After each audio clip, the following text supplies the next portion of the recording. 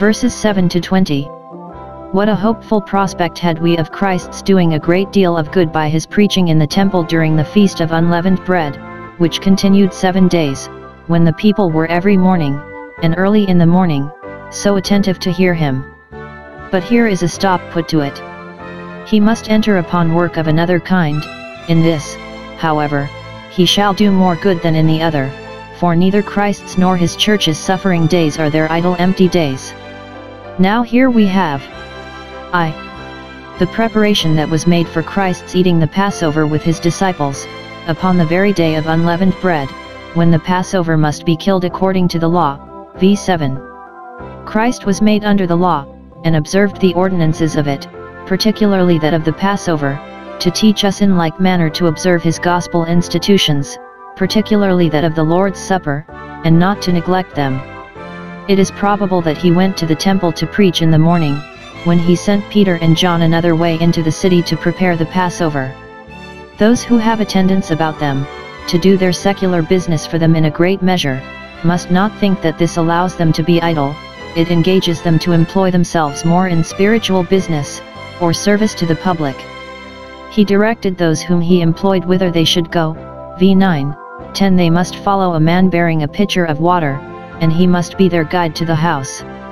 Christ could have described the house to them, probably it was a house they knew, and he might have said no more than, Go to such a one's house, or to a house in such a street, with such a sign, etc. But he directed them thus, to teach them to depend upon the conduct of providence, and to follow that, step by step. They went, not knowing whither they went, nor whom they followed. Being come to the house, they must desire the master of the house to show them a room, v11, and he will readily do it, v12. Whether it was a friend's house or a public house does not appear, but the disciples found their guide, and the house, and the room, just as he had said to them, v13, for they need not fear a disappointment who go upon Christ's word, according to the orders given them, they got everything in readiness for the Passover, v 11. 2. The solemnizing of the Passover, according to the law. When the hour was come that they should go to supper he sat down, probably at the head end of the table, and the twelve apostles with him, Judas not excepted, for it is possible that those whose hearts are filled with Satan, and all manner of wickedness, may yet continue a plausible profession of religion, and be found in the performance of its external services, and while it is in the heart, and does not break out into anything scandalous, such cannot be denied the external privileges of their external profession. Though Judas has already been guilty of an overt act of treason, yet, it not being publicly known, Christ admits him to sit down with the rest at the Passover. Now observe 1. How Christ bids this Passover welcome to teach us in like manner to welcome his Passover, the Lord's Supper, and to come to it with an appetite, v 15 with desire I have desired, I have most earnestly desired, to eat this Passover with you before I suffer.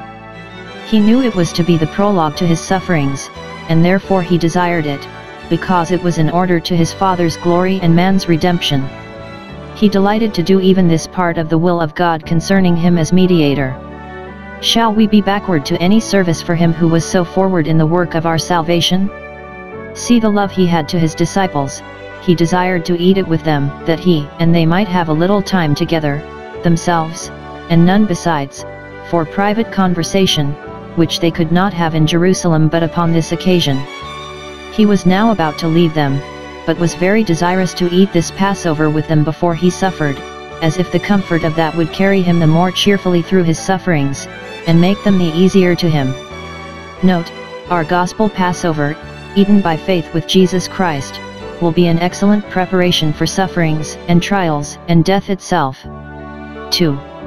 How Christ in it takes his leave of all Passovers, thereby signifying his abrogating all the ordinances of the ceremonial law, of which that of the Passover was one of the earliest and one of the most eminent, v 16 I will not any more eat thereof, nor shall it by any more celebrated by my disciples, until it be fulfilled in the kingdom of God. 1. It was fulfilled when Christ our Passover was sacrificed for us. 1. Cor 5 7. And therefore that type and shadow was laid aside, because now in the kingdom of God the substance was come, which superseded it. 2. It was fulfilled in the Lord's Supper, an ordinance of the gospel kingdom, in which the Passover had its accomplishment, and which the disciples, after the pouring out of the Spirit, did frequently celebrate, as we find Acts 2:42, 46. They ate of it, and Christ might be said to eat with them, because of the spiritual communion they had with him in that ordinance. He is said to sup with them and they with him.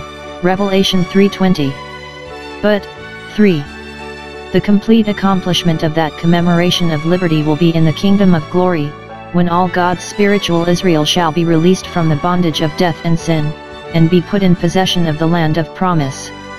What he had said of his eating of the paschal lamb, he repeats concerning his drinking of the Passover wine, the cup of blessing, or of thanksgiving, in which all the company pledged the master of the feast, at the close of the Passover supper. This cup he took, according to the custom, and gave thanks for the deliverance of Israel out of Egypt, and the preservation of their firstborn, and then said, Take this, and divide it among yourselves. V 17. This is not said afterwards of the sacramental cup, which being probably of much more weight and value, being the New Testament in his blood, he might give into every one's hand, to teach them to make a particular application of it to their own souls, but, as for the paschal cup which is to be abolished, it is enough to say, Take it, and divide it among yourselves, do what you will with it, for we shall have no more occasion for it. V 18. I will not drink of the fruit of the vine any more, I will not have it any more drank of, till the kingdom of God shall come, till the Spirit be poured out, and then you shall in the Lord's Supper commemorate a much more glorious redemption, of which both the deliverance out of Egypt and the Passover commemoration of it were types and figures.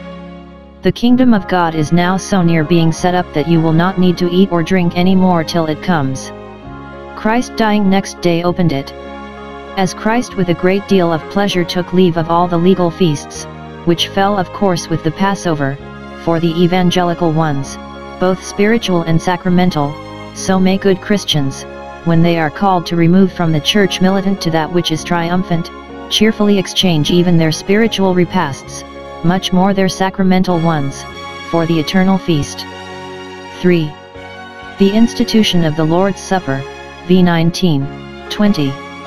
The Passover and the deliverance out of Egypt were typical and prophetic signs of a Christ to come, who should by dying deliver us from sin and death, and the tyranny of Satan, but they shall no more say, The Lord liveth, that brought us up out of the land of Egypt, a much greater deliverance shall eclipse the luster of that, and therefore the Lord's Supper is instituted to be a commemorative sign or memorial of a Christ already come, that has by dying delivered us, and it is his death that is in a special manner set before us in that ordinance.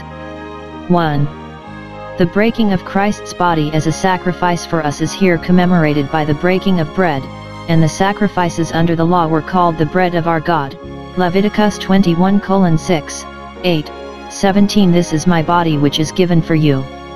And there is a feast upon that sacrifice instituted, in which we are to apply it to ourselves, and to take the benefit and comfort of it.